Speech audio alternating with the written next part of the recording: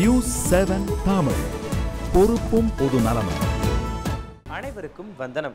ஆன்மீகத்தில் சொல்லியிருக்கக்கூடிய மிக முக்கியமான கருத்துக்களை நம்மளுடைய வாழ்க்கைக்கு எந்த மாதிரியாக நம்ம பயன்படுத்திக்கிட்டு நம்மளுடைய வாழ்க்கையை நம்ம முன்னேற்ற பாதைக்கு கொண்டு போகலாம் அப்படிங்கிறது தான் தினசரி நம்மளுடைய அன்றாட ஆன்மீகம் நிகழ்ச்சியில் நம்ம தொடர்ந்து பார்த்துக்கிட்டு வரோம். அந்த வகையில் இன்னைக்கு நம்மளுடைய அன்றாட ஆன்மீகம் நிகழ்ச்சியில் ஆன்மீக கருத்துக்களை எடுத்துக்காட்டாக சொல்லி நம்மளுடைய வெற்றி பாதைக்கு எப்படி செல்லலாம் அப்படிங்கிறத தான் நான்கு வங்கியில் தலைவராக பணிபுரிஞ்சு ஓய்வு பெற்றவரான திரு டி எஸ் ராகவன் அவர்கள் சொல்ல போறாரு.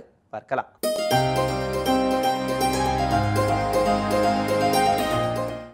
அன்றாட ஆன்மீகம் நிகழ்ச்சியில் உங்களை சந்திப்பதில் மிக்க மகிழ்ச்சி. உங்கள் அனைவருக்கும் எனது பணிவான கனிவான வணக்கங்கள். வாழ்க்கையில் அன்றாடம் நம்ம பார்க்குற சிக்கல்களை நிவர்த்தி செய்து வெற்றிக்கு வழிகொள்வது நமக்கு வழிகாட்டியாக இருப்பது ஆன்மீகங்க.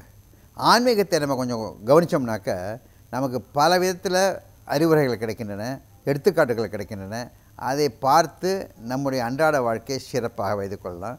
அதிலிருந்து வெற்றியும் பெறலாம். அதை பற்றி பார்ப்போம். வாழ்க்கையில் மனிதர்களிலே உயர்வானவர்கள் அடுத்த நிலையில் இருப்பவர்கள் அடுத்த நிலையில் இருப்பவர்கள் பலதரப்பட்ட மக்கள் இருக்கின்றார்கள். இது இயற்கையானது. எப்படி ஒரு குறிஞ்சி முல்லை மருதம் நெய்தல் பாலை என்று நிலத்திலே இருக்கின்றதோ மரத்திலே உயர்வான மரம் தாழ்வான மரம் மிக தாழ்வான மரம் பூண்டு புல் என்று இருப்பதோ இது இயற்கை மாற்ற முடியாத இயற்கை. ஆனால் இதில் உயர்வு தாழ்வு என்று கூறவில்லை. நிலை பல விதமாக இருக்கின்றன. அப்படி பார்க்க போகிறச்ச அலுவலகங்களில் பார்த்தீங்கன்னாக்க there are seniors juniors chairman இருக்கார் ஜெனரல் மேனேஜர்ஸ் இருக்காங்க டெபுட்டி ஜெனரல் மேனேஜர் இருக்காங்க அசிஸ்டன்ட் ஜெனரல் மேனேஜர் இருக்காங்க ஆஃபீஸர்ஸ் இருக்காங்க கிளர்க்ஸ் இருக்காங்க இதேமாதிரி மாதிரி பல தரப்பட்டவர் இருக்கின்றார். இவர்கள் எல்லோரிலுமே இணைந்து வேலை செய்கின்றோம். இப்படி வேலை செய்கிறச்ச ஏதோ சில காரணங்களுக்காக ஏதோ சில நிகழ்ச்சியினால் இந்த அலுவலகத்தில் வெற்றி தோல்வி ஏற்பட வாய்ப்பு உண்டு.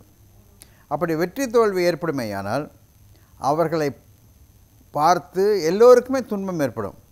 அவர்கள் எல்லோருமே துன்பத்தில் ஈடுபடுவார்கள். அவர்கள் எல்லோருக்குமே தாக்கம் ஏற்படும். ஆனாலும் மேலே இருப்பவர்கள் கீழே இருப்பவர்களை மேல்நிலையில் உள்ளவர்கள் கீழ்நிலையில் உள்ளவர்களை காப்பாற்றுவது வேண்டும் என்பது தலையாய கடமை. The seniors should ensure the juniors are protected அது இல்லாமல் நடந்து போச்சுனாக்க அந்த அலுவலகத்தில் மறுமுறை வாழ்க்கை என்பது தடுமாறும். இதற்கு எடுத்துக்காட்டாக ராமாயணத்தில் ஒரு நிகழ்ச்சி.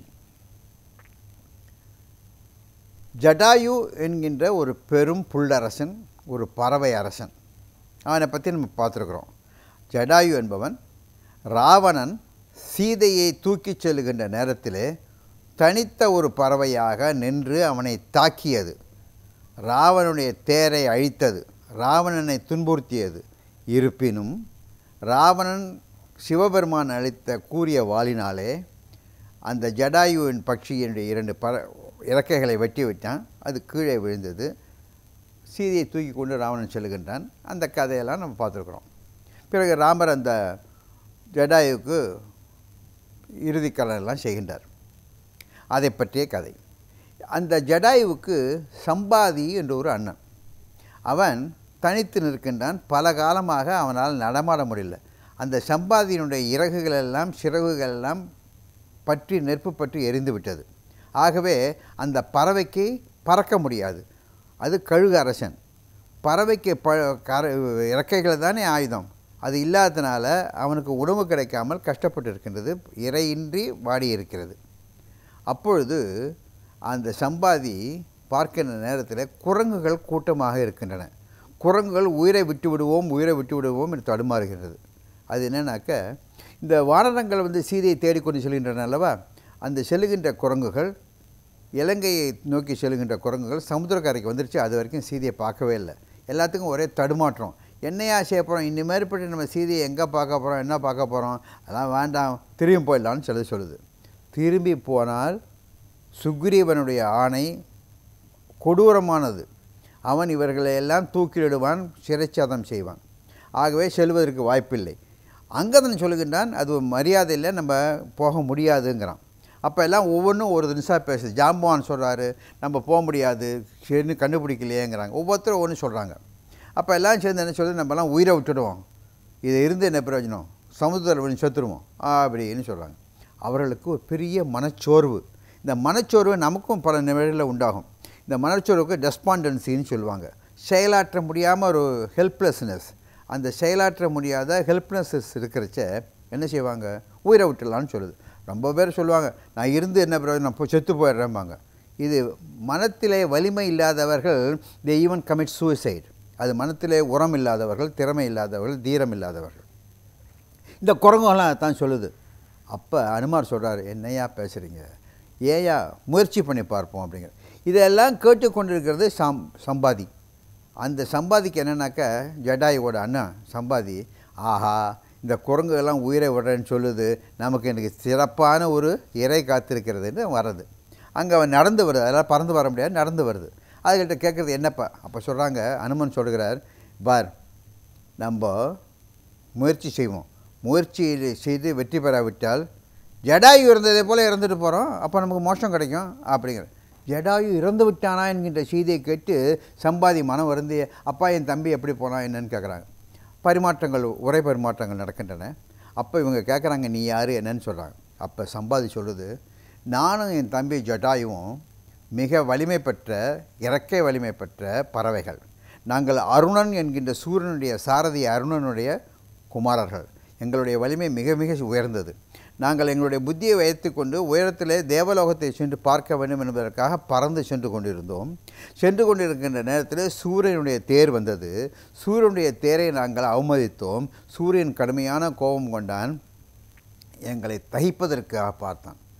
என்னுடைய தம்பி ஜடாயுவினுடைய இறக்கைகளை தகிப்பதற்கு பார்த்தேன். அவனுடைய எரிகதிர் அவனை எரித்துவிடக்கூடாது என்பதற்காக நான் ஜடாயுவுக்கு ஒரு கவராக ஒரு ப்ரொடெக்ஷனாக ஒரு அம்ப்ரல்லா போன்று பறந்து சென்றேன். நான் ஜடாயுவின் மேலே என் தம்பிக்கு ஏதும் ஊர் ஏறிந்து விடக்கூடாது என்பதற்காக ஜடாயுவின் மேலாக நான் பறந்து சென்றேன். என்னுடைய உடலில் இருந்த இறக்கைகளில் இருந்த அத்தனை இறகுகளும் கீழே ஃபெதர்ஸும் கீழே விழுந்து பேர்ன் ஆகி கீழே விழுந்துட்டேன். இப்போ நான் அடியில் வந்து விழுந்துட்டேன். அப்போ எனக்கு வந்து சொன்னாங்க நான் என்ன பண்ணுறதுன்னு கேட்டேன். சூரியன் பால் கருணை கொண்டான். எங்கள் அப்பா தானே அருணன். அவர் கூறியதோ என்னமோ தெரியவில்லை. சூரியன் பால் கருணை கொண்டான். பிற்காலத்திலே இங்கு வானரர்கள் ராமபத்தினியை தேடிக்கொண்டு வருவார்கள். அவர்களுடைய அருள்னாலே அவர்களுடைய ராமனுடைய கதையை கூறுவார்கள். அப்பொழுது நீ அவர்களுக்கு உதவி செய்யலாம். அப்பொழுது உனக்கு ரெக்கைகளை கிடைத்துவிடும். ராமநாமத்தை சொல்லுவார்கள். அப்பொழுது உன் ரெக்கை முளைத்துவிடும். உன்னுடைய அப்படின்னு கூறுறாங்க. இந்த நேரம் இப்பொழுது வந்து விட்டது என் தம்பியை பற்றி கூறுங்கள் மறுபடியும் கூறுங்கள் என்று கேட்கின்றான்.